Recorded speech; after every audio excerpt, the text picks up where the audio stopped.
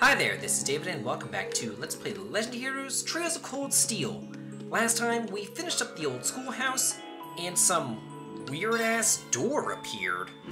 But try as we might to open it, nothing happened and uh, we couldn't. So I guess we just need to head on back outside. It should be evening by this point. Maybe we'll get more bonding points or something. That'd be kind of nice. I love the evening sky. It's so pretty. It's pretty in this game and pretty in real life, too. Oh, yeah, that's right. That is a big change. Oh, that's a pretty good idea. Yeah, if you were talking to Principal Vandyck during the uh, NPC bonus episodes, you would know that he has um, left. So, yeah and I'll be doing all the NPC dialogue for Trista after we're done with Trista, so, eh, it is what it is. You guys didn't know that, but hey, whatever. Okay, leaders! Ooh! Get that nice Dragon Vision Quartz and an additional bonding point that we can use for Laura as well as Elliot. I'm going to be um, doing both bonding events during the end slate of today, but the bonding event that I'm going to keep is going to be Laura's bonding event. So what I want to do right now is another quest down at the uh, Academy Field. There's a little hidden side quest over here, so let's go ahead and get this uh, started. By the way, that Dragon Vision Quartz, basically it gives you plus 10 strength, and if you are equipped with it and you kill an enemy, it will automatically analyze said enemy. So it's kind of nice. If not just for, you know, the strength boost, that always comes in handy. ink brush? Oh, like a calligraphy type brush? Like one of those ancient Chinese brushes? Or I guess in this case, Japanese brush. Oh, huh. Who close to you had an interest in calligraphy? Uh, I don't know. My mother actually has an interest in calligraphy and painting. She is a um, she's a painter. She does watercolor, and she's actually really, really good at it too. I have a lot of her paintings hanging around my house and everything, so yeah. Personally, I've never actually tried really to paint, so I don't know if I'm good at all. Oh, okay, so it was your master who was interested in Eastern calligraphy. But who else could possibly interested in the same thing as Rean's former master. Oh, someone who is not supposed to be on campus today. Hmm, I wonder who that possibly could be. Eh, no problem. Thanks. Okay. I think so. There's only one person that I know of who is not supposed to be on campus today, and, uh, that's the principal. So, I guess we should just give it to him, or leave it on his desk or something? Oh, he's still here. We should really tell him about the red door, too. I mean, since we're here anyway. Oh. Oh, okay, well, I'm glad that you're still here then. Aw, he's such a nice guy. Oh, I guess not. Yeah, are you missing an ink brush? Did you accidentally throw it away? Did it maybe fall off your desk or something, then a janitor picked it up, thinking it was trash? Oh, yeah. Glad we could help.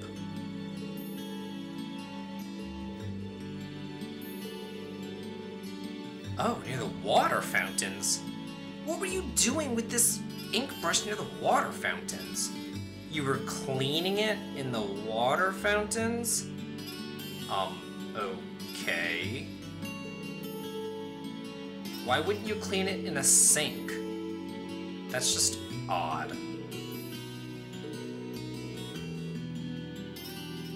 Well, maybe it has some sort of sentimental value. Maybe his parents gave it to him. Or a gift from an old friend. Really? Hmm. I wonder if Rean's master is also the principal's friend. Oh, yeah, you really don't have time for that now, do you? Oh, well, no problem. Ooh, what do you have what do you have? Ooh, the Holy Sphere. Nice! That's an accessory gives you plus 800 HP and prevents death blows, so that's really, really handy to have around. Mostly for the, um, preventing death blows. Because those could be a major pain in the ass. oh, yeah, you're probably right, Rean. Well, that was a pretty quick quest. So the next thing that I want to do, head on over towards the engineering building and talk to George, because now we have some character profile updating to do. Uh, yeah. Oh, yeah. I don't think that's a good idea. You probably shouldn't, uh, go in there unaccompanied.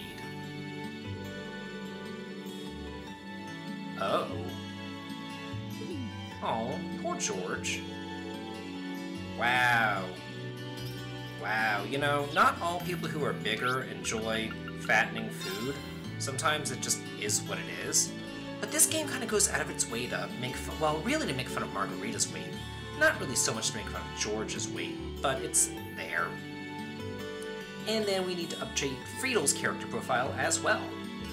Apparently, she beat the crap out of Patrick, and you'll learn more about that during the NPC bonus dialogue videos. Oh, the Terror of the Fencing Club? Whoa! Man, who knew? The next thing that I want to do is head on over to the rooftop, because, uh, Celine is up here, and I pretty much just want to give her some milk. That's about it. Meow, Celine!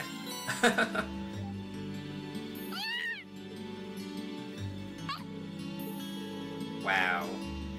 Yeah. Okay, so let me just, um, cut here for just a second. Sorry about that, I just wanted to do Laura's bonding event, which I'm going to be showing during the end slate. So I did all this NPC dialogue off screen as well, so let's head on out of here. Oh, yeah, we better go write the report. Yeah, maybe next month. Who knows? Headed back to Rean? Yeah. You all on your way back then? Uh, yeah, I'm feeling a bit bush today. I figured it was about time to return to the dorms, too. to be honest, I was hoping to get some more studying in, but since everyone else was going back. Good old peer pressure. Oh, aren't Laura and Fie with you? I'm afraid not. We looked for them, but they were nowhere to be found. They're old enough to find their own way back. I guess you're right, but it's a shame we couldn't all go back together. Rean? Huh? Hmm.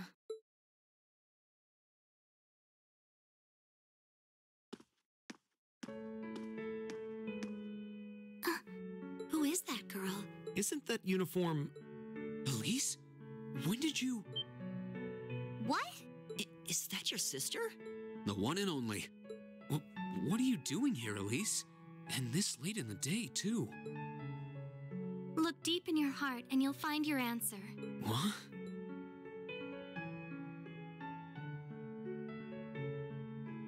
It's a pleasure to meet all of you. I'm Elise, Rean's sister. I apologize for cutting in, but would it be possible for me to borrow him for a while?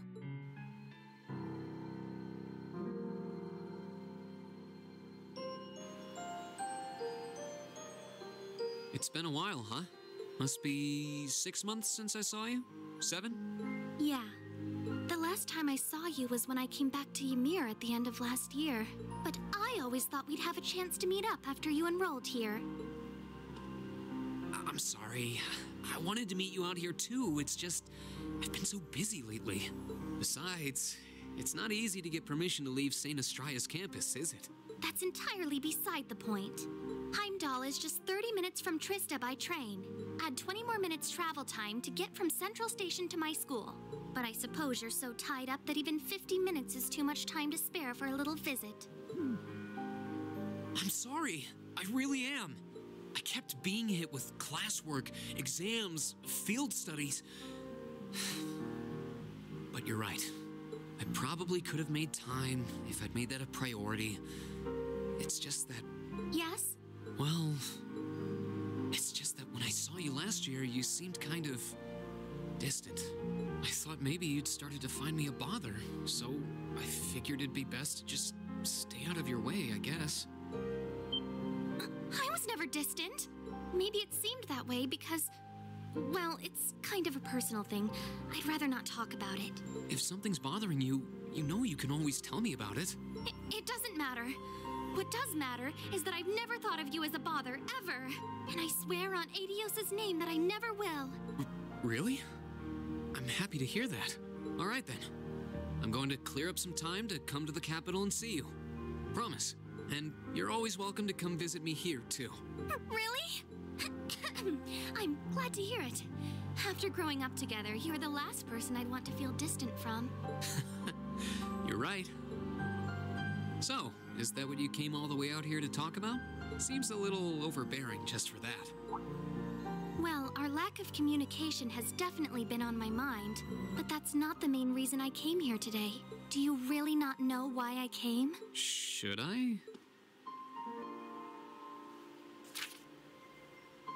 Oh, that's the last letter I sent to you, isn't it? Oh, did you come for the souvenir I got you on our trip to the Nord Highlands?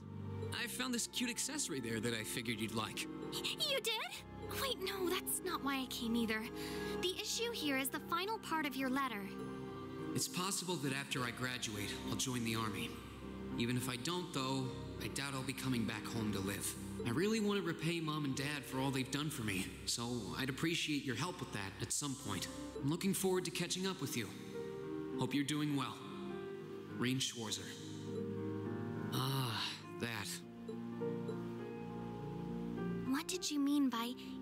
I don't, though, I doubt I'll be coming back home to live? Or by wanting to repay mother and father? You make it sound as though you intend to sever ties with them. You can't honestly be thinking that you're going to quietly bow out of succeeding father as head of the family. Are you, Rean? That's exactly what I'm thinking. I have no intention of becoming the head of the family or the next Baron Schwarzer. What's so surprising about that? I was adopted. I wasn't born into a nobleman's life. The best thing would be for you to marry a good man and have him succeed Dad as Baron. That doesn't even make sense! You might not be related to us by blood, but you're still father's only son. And the right of adopted children to succeed their family name is recognized under imperial law. Yeah, if the adopted child is of noble blood. At least that's how it's gone in most cases, and I'm not. Oh, What am I? Some abandoned kid that Dad found buried in a blizzard 12 years ago. I couldn't even remember where I was from, or life before that. Just my name. And when he chose to take me in as his son, Dad became the hot topic of high society. People called him eccentric, crazy. Some of them even accused him of being unfaithful to mom. One even asked him to his face if he intended to open wide the gates of the nobility to some low born bastard. At some point, he got tired of dealing with all of it. He started to avoid leaving Ymir, and eventually he stopped showing his face at all among the nobility, except on rare occasions. I've caused a lot of trouble for our family, and I really don't want to cause any more than I already have. I doubt I'll be able to leave the Schwarzer name behind, but at the very least, I want you and mom and dad to have the respect you deserve with your peers. After all, you'll be 16 next year, making your debut into high society. I know it might seem extreme to you, but try to understand how I feel. I'll still visit Ymir. It's not like I want to just walk out of your lives altogether. That's not it. I mean, mom and dad have always looked out for me, and that's a debt I'll never. you don't get it. What? You don't get it at all.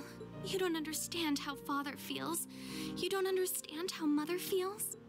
And you don't understand how I feel. Elise?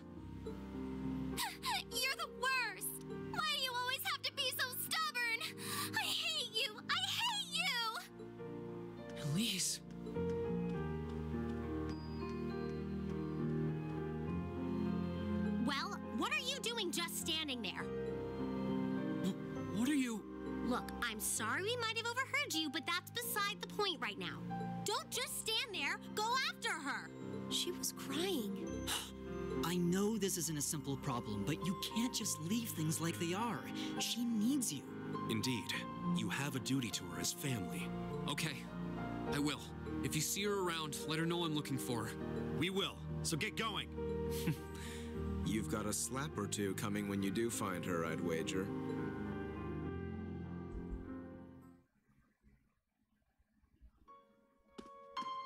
Why would Rean want to give up his birthright? That's so odd to me. You know, he was adopted and his family loves him, and that's the only family that he's ever known. Mother, father, sister, and he just wants to give it all up because of something that he had no control over? Something that happened to him as a child? It's not even something that he did. It was literally something that happened It's to him. use. I can't sense her anywhere. I need to start looking around the entire campus. Actually, we don't. But at this point, new NPC dialogue happens, and we'll be showing that during the uh, bonus video as well. We only need to talk to a couple of people. And we'll start over here in the Academy field by talking to Fie. Let's see, I believe that she's kind of over here. There she is. Hey there, Fie. What's going on? Oh. Who? You talking about Elise? You weren't even there! Oh, they called you and told you. Your Jaeger sixth sense isn't coming in handy? Maybe Gaius' sense is coming in handy right now, but then again, Rean has some sort of sixth sense as well, and he doesn't seem to know where uh, she is either. Here's the thing you don't know that you're not a noble. You don't know that there's not a drop of noble blood in me. You were abandoned as a child. You don't remember your past. You don't remember your biological parents. For all you know, they were noble. Hell, for all you know, they were king and the queen. You know, you don't know. You just assume that you're a commoner. Oh. Oh. Yeah, poor Fie. I guess. I guess Rean feels kind of bad complaining about his parents whenever Fie never had parents either, and she never really even had a loving family. She just had Jaegers. You know, that's pretty awful. Yeah, so Rean, you probably shouldn't complain about your upbringing whenever Fie's was so much worse. Okay, let's see, head off to the gymnasium and talk to our other noble in charge over here. Hey, Laura. Oh, okay. Well, she's obviously not in the gym. I guess you got a telephone call in your Arcus too? From all of our eavesdropping classmates?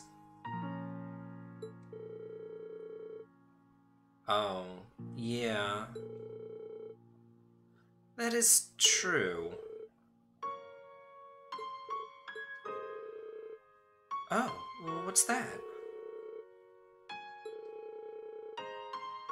Oh, why would you want to escape that life? It seems like a kind of a cushy life to me. I would be all about it, personally.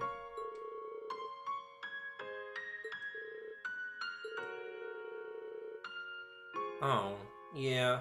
Rean's like, uh, Laura has some issues. I'm just gonna let her, uh, take care of those on her own. I don't really want to deal with all that right now, so bye, Laura. Then the next person, or the last person that we have to talk to, is Towa. I don't really know how Towa knows about all this. Like, people are calling her as well. Like, seriously? I don't know. Oh, she doesn't know. We have to talk to her anyway, though.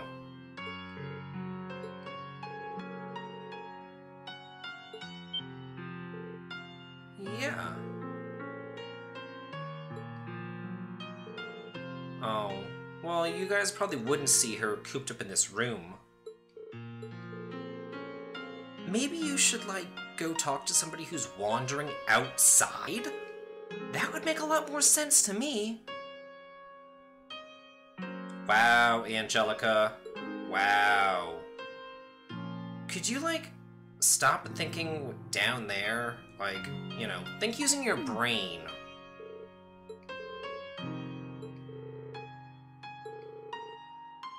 Oh, well, thanks. Ah, oh, okay, that's a really good idea. I'm sure you're bound to run into her then. Yeah, send all your lackeys out to try to find her. Okay. Yeah, thanks. But where could Elise possibly be? Find out next time. Let's play Legend of Heroes Trails of Cold Steel. This has been David.